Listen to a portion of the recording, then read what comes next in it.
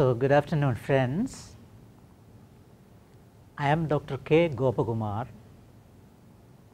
I retired from Kerala University after 37 years of service. Uh, I did my BA and MA in English language and literature from Kerala University. I also took my PhD from Kerala University under the guidance of the late Dr. K. Ayyappa and I coordinated a certificate program for distance education for about uh, 16 years. I also prepared the courseware for a certificate program in communicative English which includes an audio cassette. So, these are my credentials. All right. In our last class, we saw word accent that is in other words how to accent individual words and today we shall see sentence stress that is how to accent words in sentences. In other words, how to accent words when we speak or in other words, how to speak English with proper accents. All right. As all of us know, when we speak, we stress only the content words.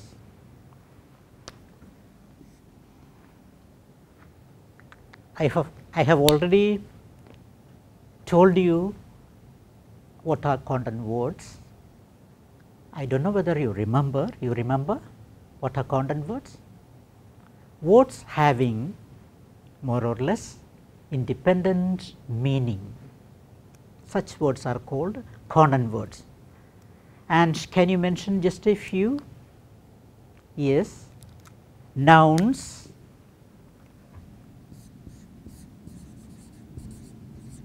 verbs, adjectives, adverbs, demonstratives,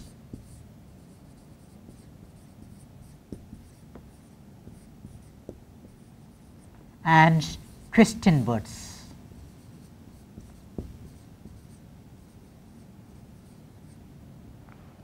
So, these are the words we stress when we speak. It means we do not stress the structure words. And what are structure words? What are structure words? Words having only grammatical function. And can you mention a few structure words? That is articles, conjunctions,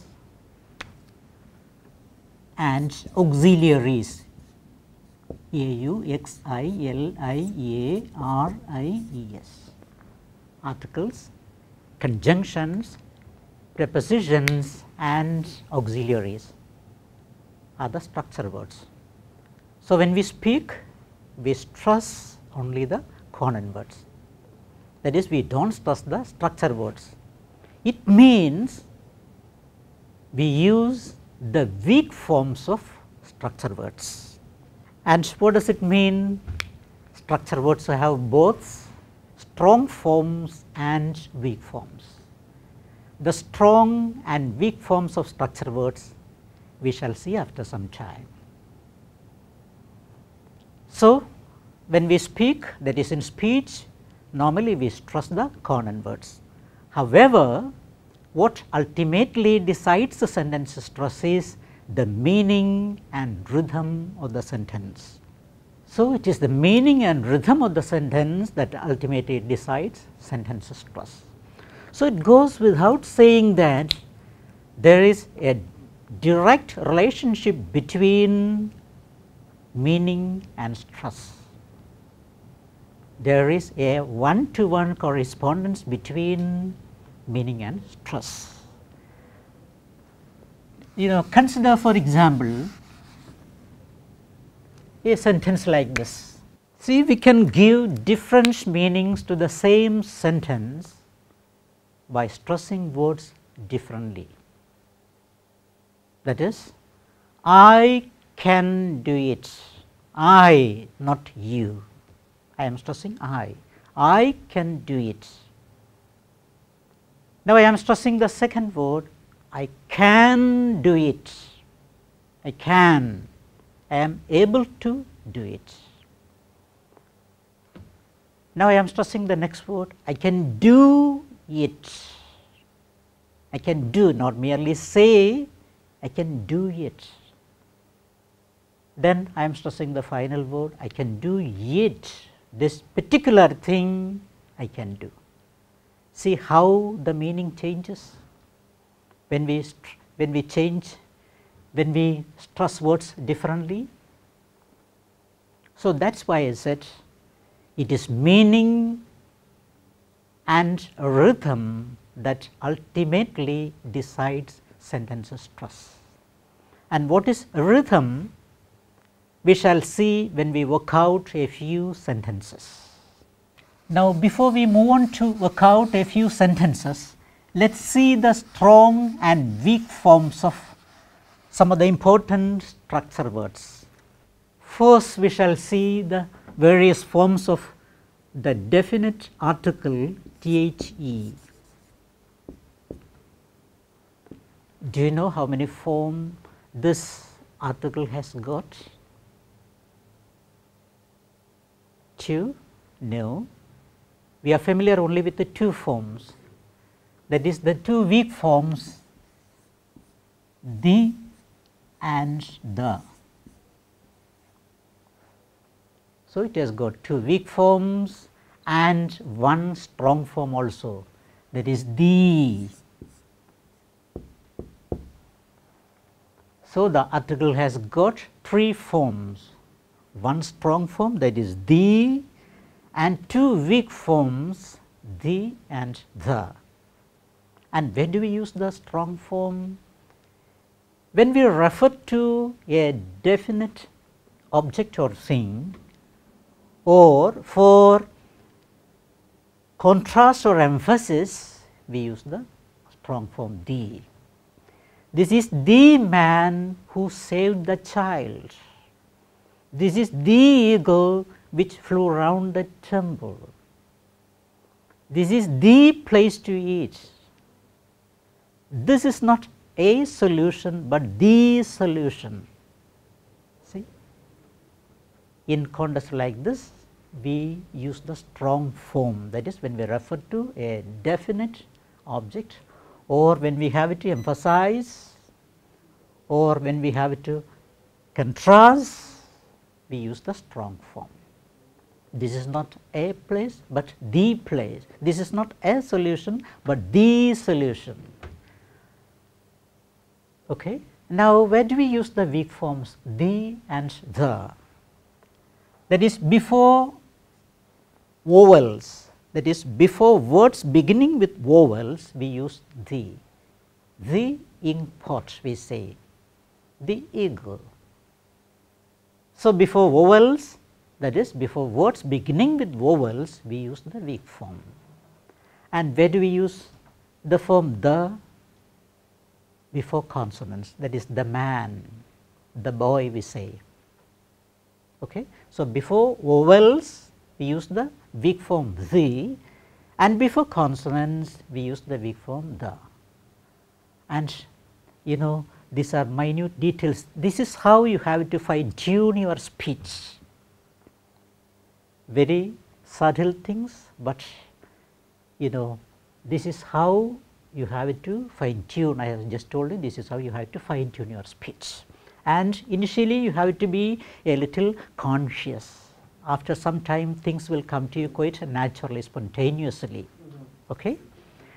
So, this is about the definite article THE, three forms the, the and the. Before vowels we use the, before consonants the and when we refer to a definite object or thing or for contrast and when we have to emphasize we use the strong form the.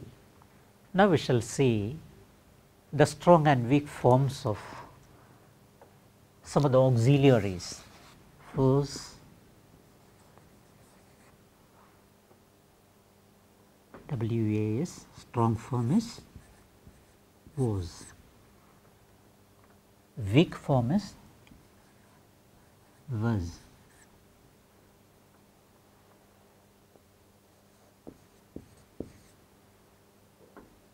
W E R E. It's where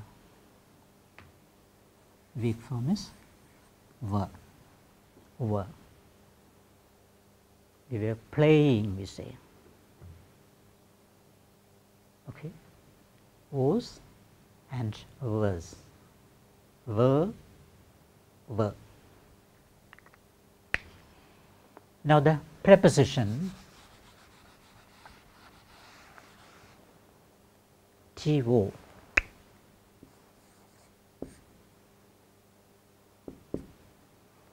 Again, can you tell me how many forms this preposition has got? As in the case of the definite article THE, this preposition has also got three forms. One strong form that is 2 and two weak forms 2 and 2. Again where do we use the strong form? Again for contrast. For example, the letter is to him and not from him then this is the book I refer to. So, here we use the strong form to. Then the two weak forms to and to. As in the case of the definite article THE, to we use before vowels that is before words beginning with vowels we use to you know to examine we say to examine.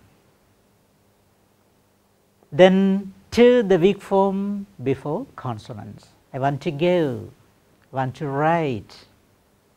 So, to before vowels and to before consonants. So, these are the three forms of to. One strong form that is to and two weak forms to and 2. So, the weak forms of other structure words we shall see when we work out sentences. Now, shall we work out a few sentences? All right. First sentence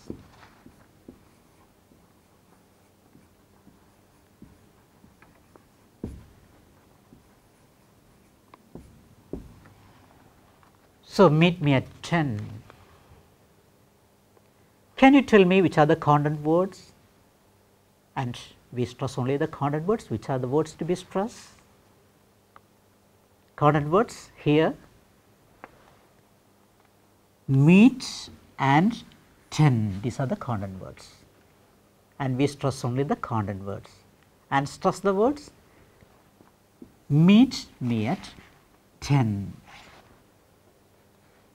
and how do we say the sentence? Meet me at 10.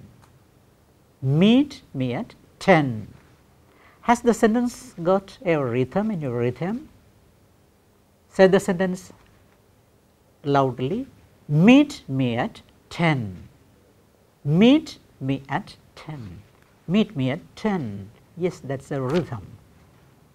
So, this is what I told you, it is meaning and rhythm that ultimately decides sentence stress. So, please transcribe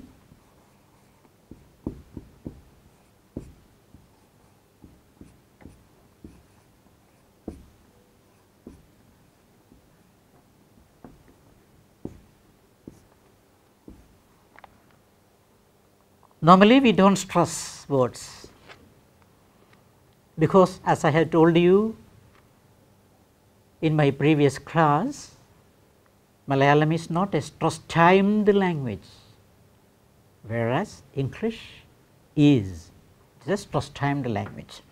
So, how do we say meet me at 10, meet me at 10, okay.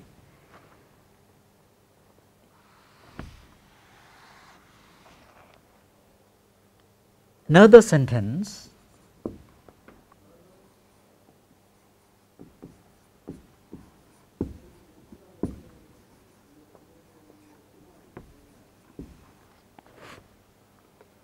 So, which are the words to be stressed? Common words.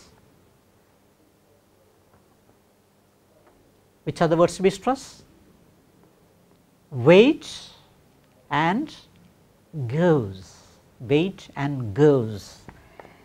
Again perhaps you remember what I told you we can give different meanings to the same sentence by stressing words differently and we can give special meanings to the sentence by stressing words differently in different way in a different way. For example, normally so you should see how we read a sentence in the normal context.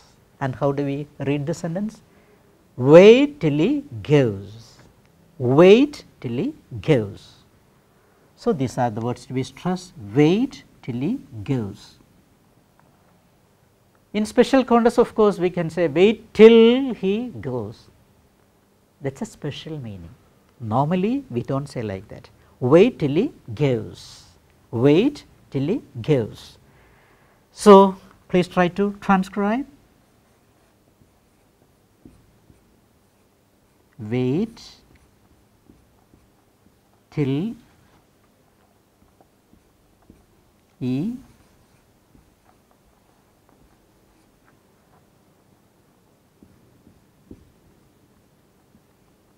this is the normal form normal form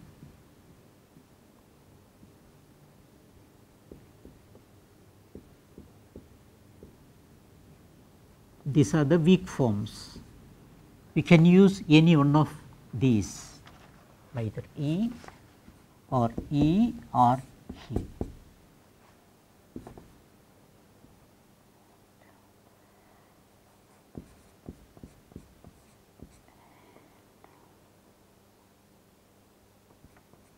This way also we can write wait till, wait till, wait till he gives so, try to read the sentence with proper accent wait till he gives, wait till he gives, wait till he gives. So, what speech stress here? Common words won't and know. And how do we read the sentence? Say the sentence. I want to know, I want to know we have a different rhythm here. I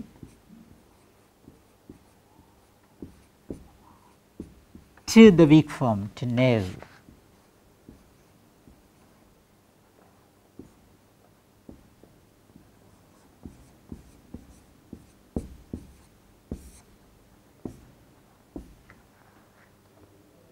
This way also you can do transcribe.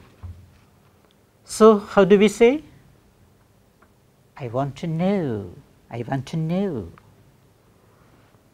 We have used the weak form to. I want to know. Try all of you. I want to know. I want to know. Okay?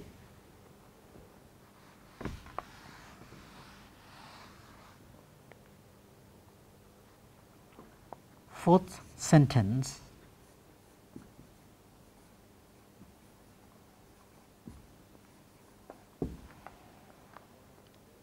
So, he had to give based on meaning and content words one give then he had to give. So, we have to stress had also because that is the meaning. He had to give had to give okay? Please transcribe. He had to. Again the weak form he had to give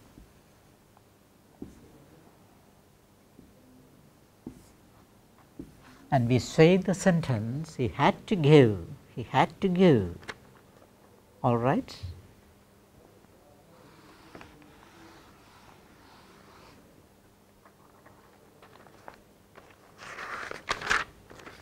Just a few more sentences. Fifth one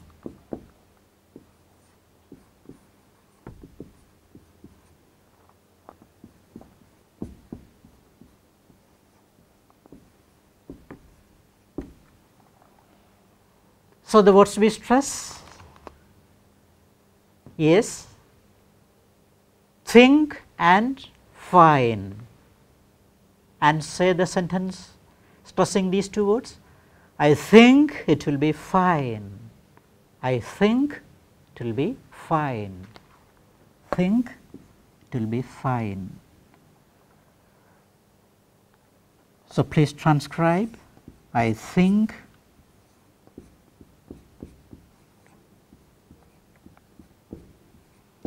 it will be it will be fine. I think it will be fine. Okay. So, this is how we say the sentence. I think all of you please try. I think it will be fine. I think it will be fine. Okay.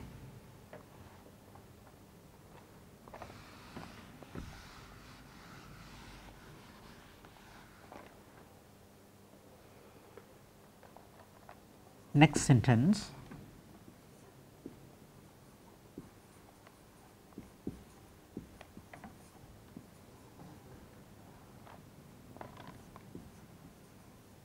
is paper and pen. Now, the words we stress I am looking for paper and pen exactly. These are the words to be stressed. Now say the sentence I am looking for paper and pen. I am looking for paper and pen. I am I am looking for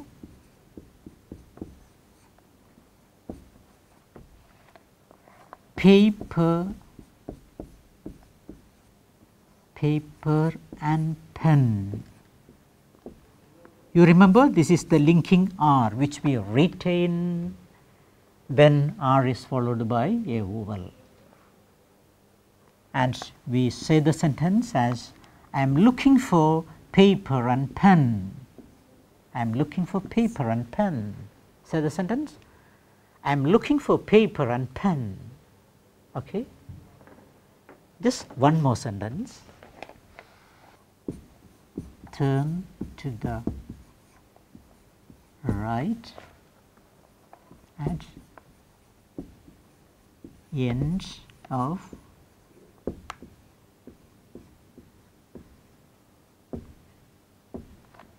yes turn to the right at, at THE end of THE street and the words we stress words we stress? Try please.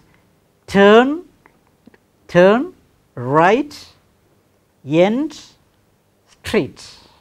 These are the words.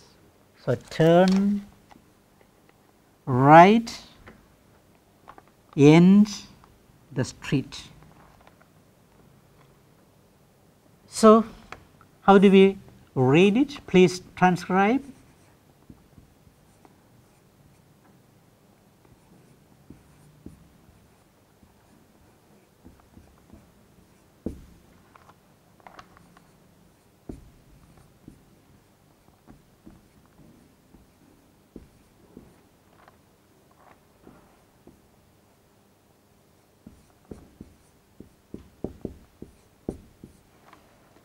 So, turn. You see the various forms of THE turn. To again big form to turn to the right. At the why because that is followed by a vowel a word beginning with a vowel. So, the turn to the right. At the end of the street again the big form the because that is followed by a consonant. So, how do we say the sentence? Please try. Turn to the right at the end of the street. Turn, turn to the right at the end of the street. Okay? So, the various forms of THE should come to you naturally. Till then, you should practice this. This is how you have to fine tune your speech. Okay?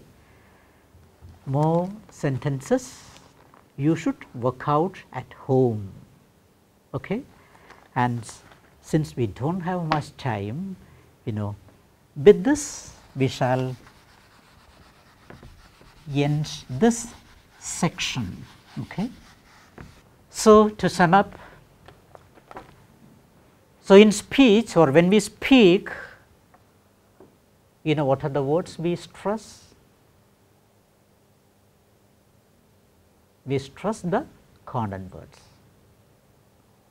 And do we stress the structure words? No, we do not stress the structure words. It means we use the weak forms of structure words. That is a point you have to keep in mind when you speak English.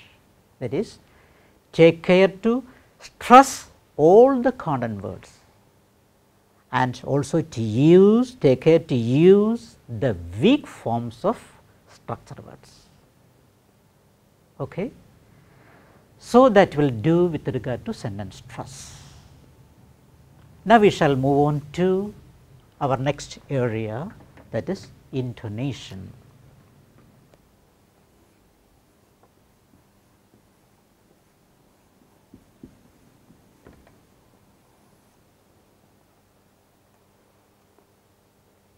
First we have to see what is intonation, then the various tones in English and also the context where we have to use these tones. Well, coming to intonation, can you guess the meaning? Has this got anything to do with the tone or pitch? Yes, intonation so, it has something to do with the tone or pitch and what is tone or pitch? High pitch, low pitch we say. What is tone or pitch? That is the highness or lowness of sound determined by the frequency of uh, vibration on the vocal cords, lowness or highness of sound. That is what we mean by tone or pitch. And then what is intonation? See as you know when we speak, we regularly change our tone that is we never speak in the same tone that is we never speak in a monotone. That is at times the pitch will rise, other times it will fall or remain level. This change of pitch of voice or variation in the pitch of the voice is called intonation. Is it clear? That is variation in the pitch of the voice or change of pitch of voice or variation in the pitch of the voice.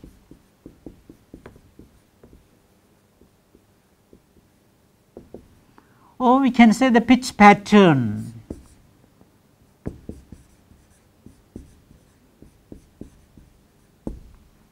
is called intonation. In other words, we can say intonation is the melody of speech. This is something that makes our speech melodious. Okay? This intonation is the melody of speech. And as you know, this is the most difficult aspect of a language to master. I have simplified things for you and what I am going to give you is a simplified version.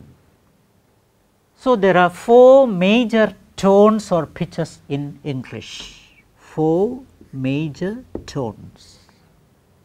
First comes fall, the falling tone.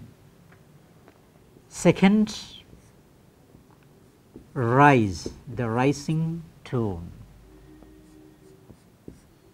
Third comes fall rise, and fourth rise fall.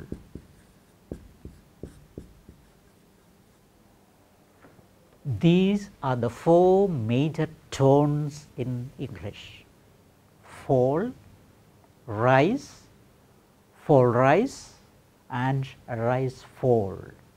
Okay? Now, we shall see more about each of these tones and also the condas where we use this tone fall. This is how we represent the tone.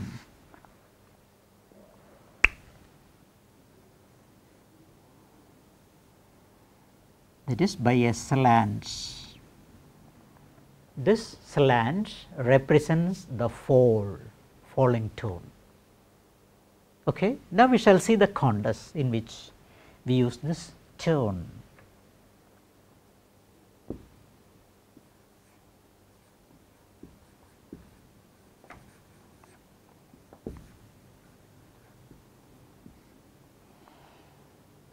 So, how did you come today? I came by bus. I came by bus. Bus, that is the falling tone. See, I want a reply. Did you write? Did you write it? I want a reply. Then again,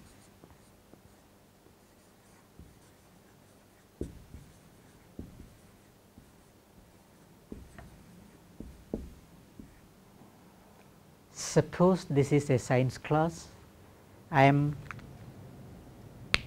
demonstrating an experiment and this is a test tube containing zinc, this is another test tube containing sulfuric acid H2SO4. I am pouring this sulfuric acid into the test tube containing zinc.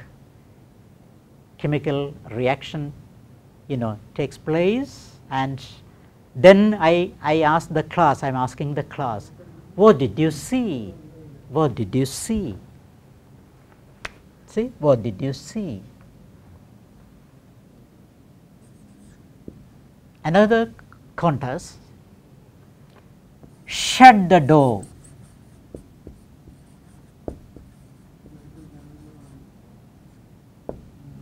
Shut the door. That is an order, an angry order, shut the door.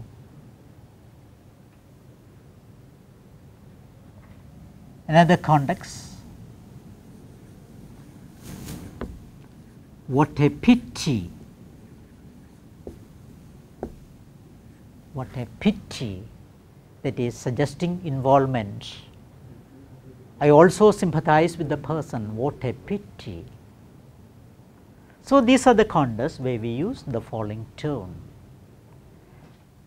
Now, let us examine each of these sentences. I came by bus, I came by train. I come from a village. See, I came by bus. What kind of sentence is this? Statement, an ordinary statement without any implication. And these two sentences,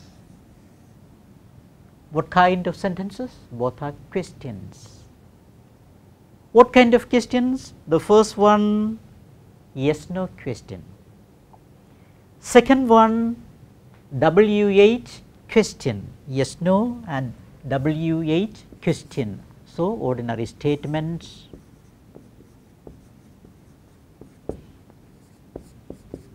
yes no question and WH question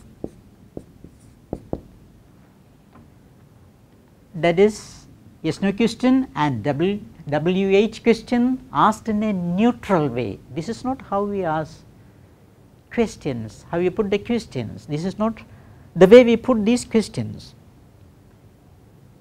So, for ordinary statements without any implication, for yes no and WH questions asked in a neutral way. And third sentence what kind of sentence? Shut the door. An imperative sentence that is an order with anchor it is put shut the door. So an imperative an order with anchor an angry order and fourth one what a pity an exclamation suggesting involvement we use the following tone is it clear? So i shall repeat which are the contexts where we use this tone for ordinary statements without any implication yes no and wh questions asked in a warm, asked in a neutral way and then angry orders imperatives with anger and you know exclamations suggesting involvement we use this tone. Now please use the tone. So how did you come today? How did you come today? I came by train, I came by bus bus the tone falls. It is only now you know speech becomes complete only with the right tone. I came by bus, I came by train. Then, did you ride? I have already told you this is not how we have to put yes no question, but in a neutral way this is how. Did you write? I want a reply. Did you write? So, yes no question asked in a neutral way. Now, WH question again asked in a neutral way. What did you see? What did you see? What did you see? Again WH question asked in a neutral way. So, questions yes, no and WH asked in a neutral way we use this tone. Then imperatives that is for angry order shut the door we say, shut the window, get out we say, get out, go out we say, shut the door, go out you know. Here also we use the falling tone then exclamation suggesting involvement what a pity, what a pity. So, these are the contexts where we use the falling tone, falling tone. Please all of you please try the tone. All right. Now to the second tone that is rise and this is how we represent the tone a slant slanted this way rise. Again the context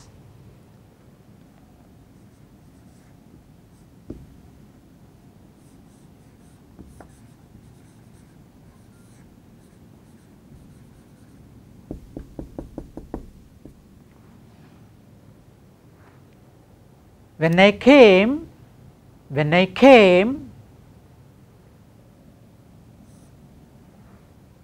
that is an incomplete utterance. When I came, there was none.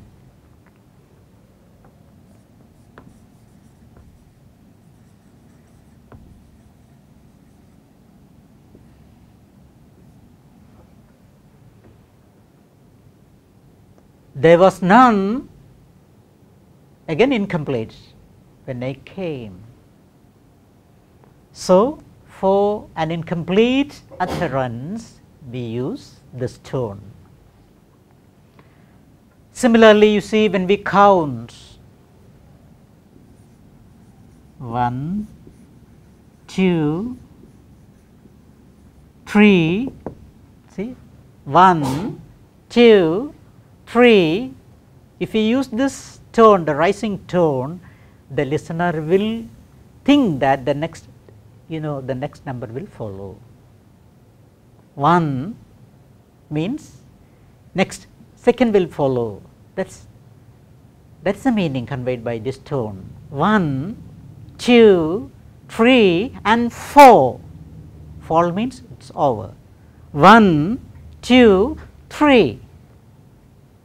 So, rise means items will follow, the next will follow. Is not complete, not at all, that is the meaning. Whereas when we use the fall, then means it is over. So, 1, 2, 3 and 4, got it? So, that is the tone, that is the rising tone. So, for an incomplete utterance, we use the tone. Then questions, the same question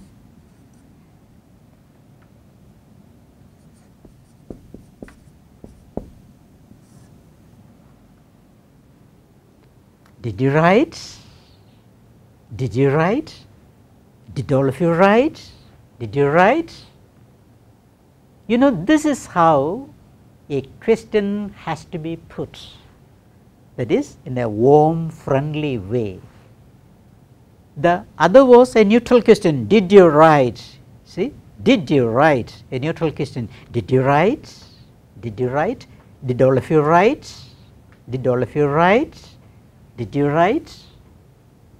So, that becomes a warm friendly question, yes no question again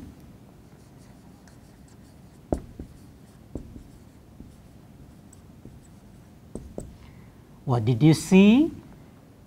What did you see there? What did you see? Again, a WH question asked in a warm, friendly way. This is how normally we put yes, no and WH questions. Okay? So, did you write? What did you see? When did you come? When did you come? Instead of the rising tone, if you use the fall again you see that will become the questions will become neutral. That is did you rise what did you see? When did you come? Like that. Okay? So for yes no the first context where we use incomplete utterance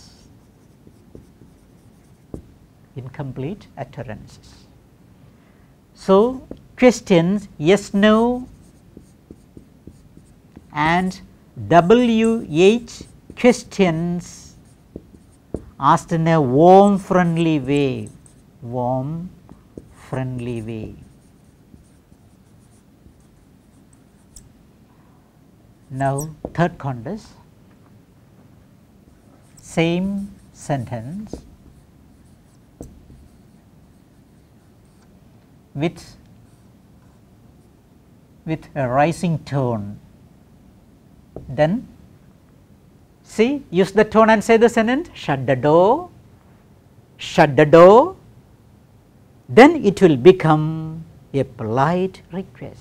Shut the door, will you please shut the door, shut the door. See you say fall, shut the door. That becomes an angry order, shut the door. Here, shut the door, pass the paper, sit there, sit there, okay. get me a glass of water, glass of water. So, when we use this tone, these imperatives will become, you know, these orders will become, you know, requests, polite requests and pleasant invitations. Okay. So, these are the contexts where we use the rising tone. First one, when I came, when I came, there was none. When I came, so for incomplete utterances. Two, for yes, no and WH questions asked in a warm friendly way and for polite requests and pleasant invitations we use the tone, we use the rising tone. Okay. What is important is that you should practice the practice the tone. Now the third tone fall rise.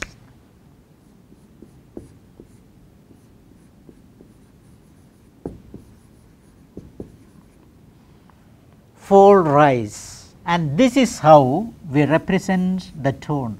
First the tone falls and then it rises, fall rise. This is how we represent the tone. First it falls and then rises, fall rise. The context. Did you get the meaning? I saw you at the theatre. You said you had to study. That is, we should get this meaning, we should get the meaning. But you shall not say this part this part you shall not say, but we should get the meaning from the tone. Can you use the tone? Can you use the tone? Take it as a statement, I saw you at the theatre, fall. I saw you at the theatre. That will become an ordinary statement, I saw you at the theatre. Then if you want to make it a question, you can use a rise and ask, I saw you at the theatre then that will become a question. But here you have a different meaning. What is given in bracket have you seen? You said you had to study, but I saw you, what is the tone? I saw you at the theatre. Did you get the tone? I saw you at the theatre. So, we get this meaning. You said you had to study, but I saw you at the theatre and this is the tone for rise. I saw you at the theatre, you said you had to study. Another sentence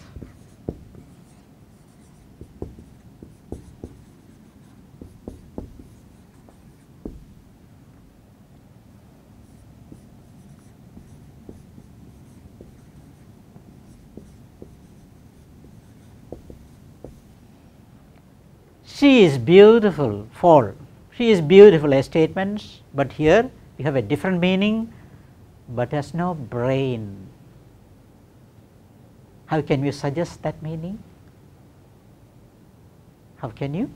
So, using the fall rise, using a fall rise, we can suggest that meaning. How to? What is the tone? She is beautiful. She is beautiful. She is beautiful. So, that is a tone for rise, but has no brain. She is beautiful. She is beautiful. Okay? So, that is the tone fall rise, fall rise. So, the tone, please practice the tone. I saw you at the theatre. I saw you at the theatre. Second, she is beautiful. She is beautiful okay. So, that is a tone. So, the tone conveys some hidden meaning that is not verbally expressed, conveys some special meaning that is not verbally expressed. So, we use this tone to convey some special meaning. So, that is fall rise. Now, finally,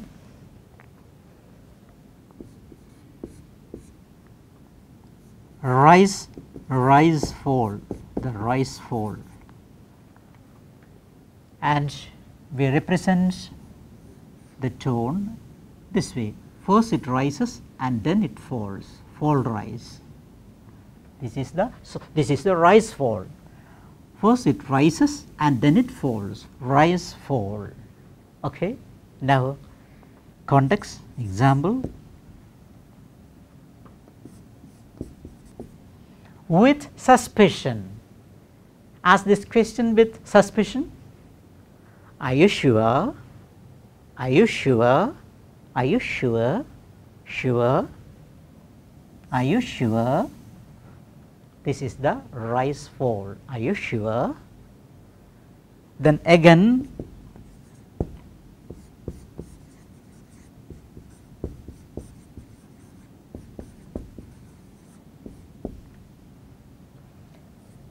with sarcasm.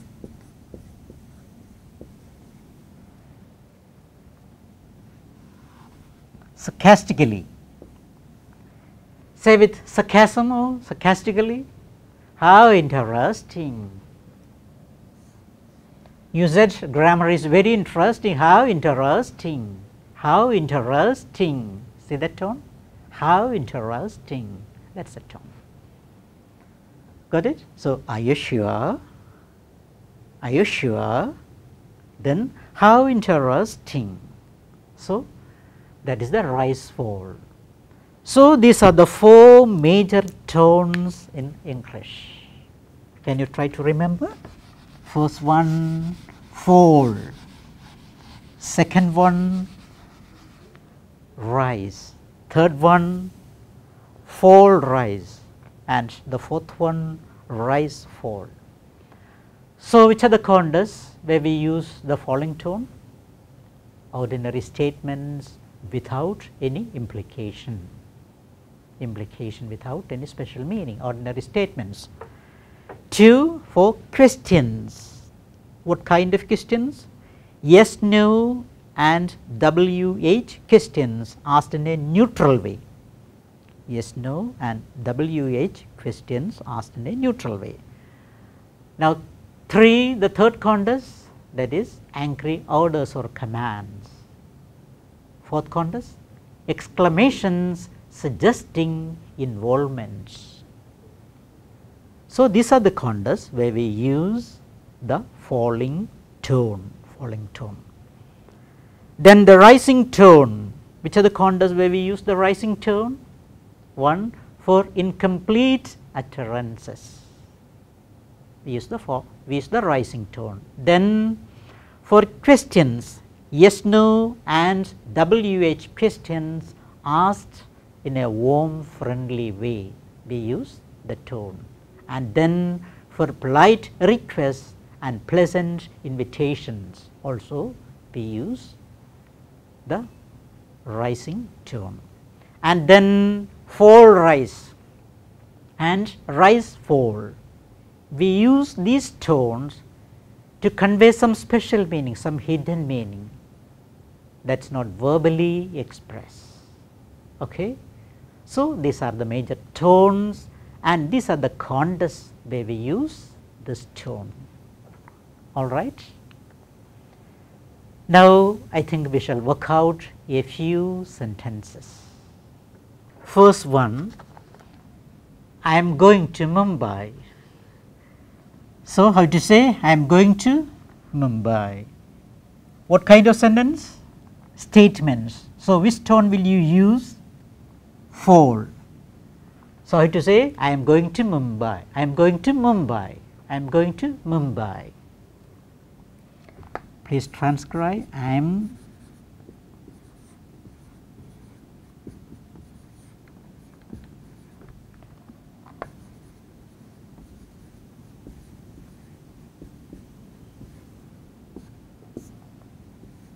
Okay.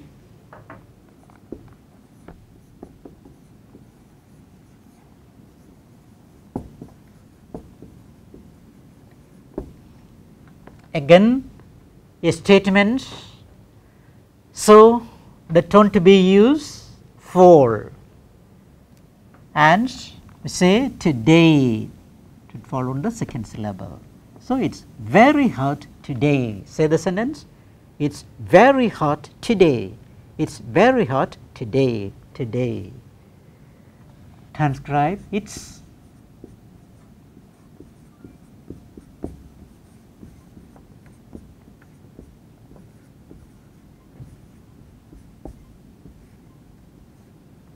It's very hot today. Okay. So, both were statements. So, we use the following tone. Now, the next one is father at home? Question, yes, no question.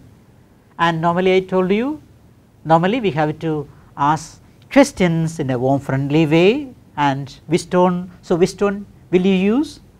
The rise. So, is father at home? Is father at home? Okay. Please transcribe. Is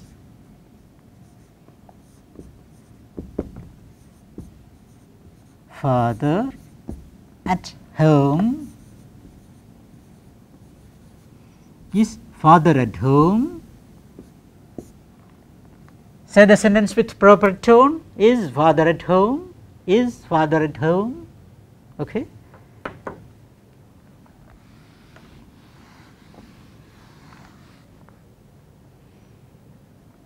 fourth one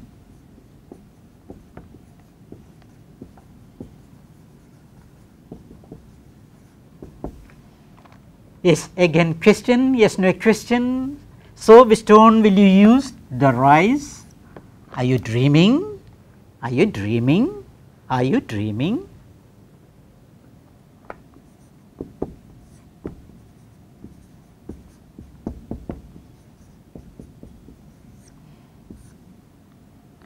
Are you dreaming?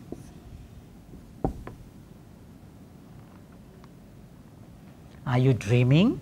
Say the question, are you dreaming? So, rise, are you dreaming?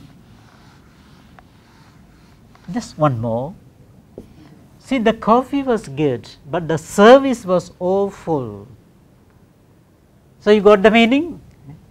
So, which tone will you use? Remember? Saw you at the theatre. The coffee was good, the coffee was good suggests you know some special meaning, but the service was awful. Now use the tone the coffee was good, the coffee was good. So, this is the tone fall rise just to convey a special meaning. Okay. So, this is how we use these tones in various contexts. Okay. You remember we have been discussing the things to pay special attention to when we speak a language like English. What was the first point, first thing you have to be careful about? We should take care to pronounce words correctly. We have seen how to accent words, how to pronounce words correctly. We also discussed the conventions in pronunciation. Second point was you know we should take care to stress words and sentences correctly and also we should use the right tone. We have seen both word stress and sentence stress and also the tones, the major tones and also the various contexts in which we have to use these tones. Okay. So, with this I think we shall wind up today's session and we shall continue in our next class.